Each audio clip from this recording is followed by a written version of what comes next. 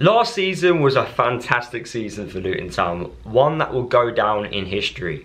However, a certain man made a big difference when he came into the club, and that was Rob Edwards. In today's video, we're going to pick out five things which we've learnt about Rob Edwards since he took over as the manager from Nathan Jones. I'm really excited to do this type of video for you guys. If you do enjoy it, please drop a like on the video. And the more likes we get on these videos, the better the video does. It reaches out to a much wider audience. Also, drop a comment down below if you think he's done more than five things. I've just picked out five things. If I've missed something, let me know um, in the comment section which you think is the five most important things which you've noticed from Rob Edwards since he's been the manager. And also, if you're new to the channel, please subscribe as well. It is free to do so. So, what's the first thing which we've learnt about Rob Edwards? Now, compare the style of play between Nathan Jones and himself. A defensive midfielder has made a massive difference. Rob Edwards' style of play, he likes having a central defensive midfielder. And what did he do? He brought in Nakamba.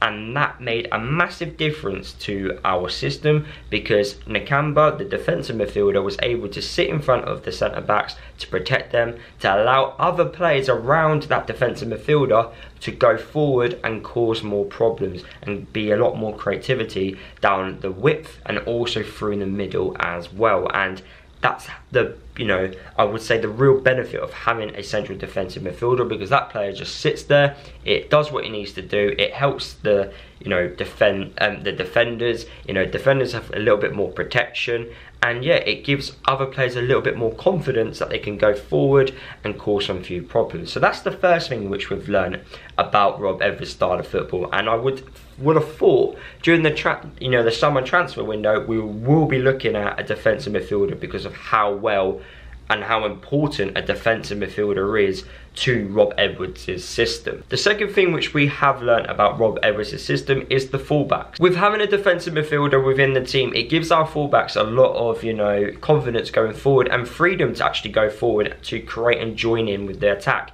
we kind of rely on our fullbacks to put crosses into the box because you don't want our strikers doing that. You don't want Elijah, you don't want Morris being on the wing. You want them both in the box, and it gives the you know the opportunity for our fullbacks to get forward, have that creativity, freedom to put crosses into the box to cause problems, and for us to try and score, um, whether it be in direct or you know playing the ball in the opposition half. So that's the importance of having fullbacks within a Rob Edwards' team, and also how pivotal they are in making sure that we create chances and also try and score as many goals as possible. And if you look throughout the season when we had Cody Drameh and also Alfie Doughty, how pivotal were those two players, you know, the amount of chances which they were creating on either side and also the defensive jobs which they were both doing um, throughout the whole of the second half of the season under Edwards. And even when they do go forward, because we play with a back three, um, or three centre halves. The right side of centre half and the left side of centre half kind of also cover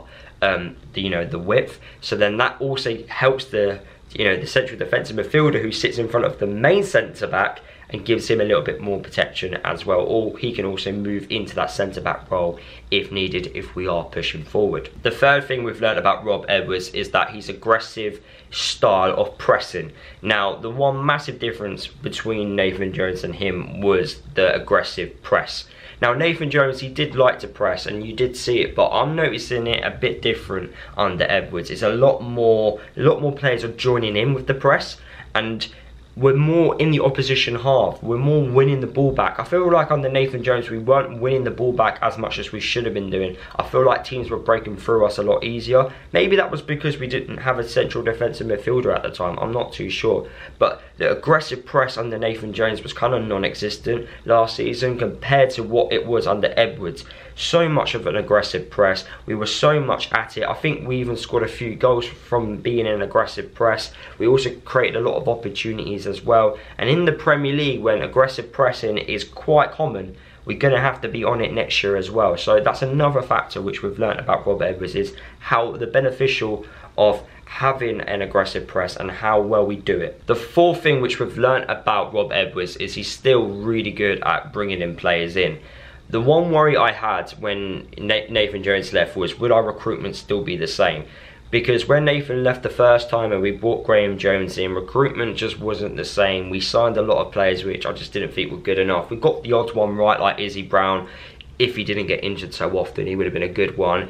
James Bree and Carter Vickers. But apart from that, all the other players which we brought in, they didn't really have an impact towards the team. Um, and I had a few question marks a lot more when we brought those types of players in. But then we got even better in our recruitment. Nathan came back and our recruitment was just really good. Under Nathan, it was fantastic, our recruitment. I have no issues at all. So that was my real like worry. But um, but Rob Edwards proved in January that we can still recruit really well under him. He can still find really good players. You look at the players he brought in.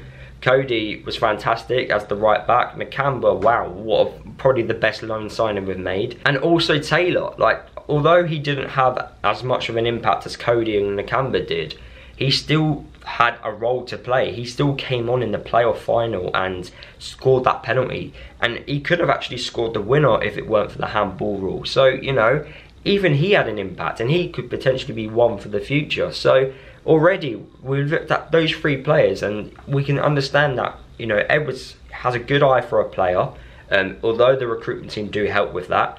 And yeah, I have a lot of positives that we can still recruit really well and he's proved that within one window he can still recruit really well. And the final thing which we've learned about Rob Edwards is his ability to improve players and make them better.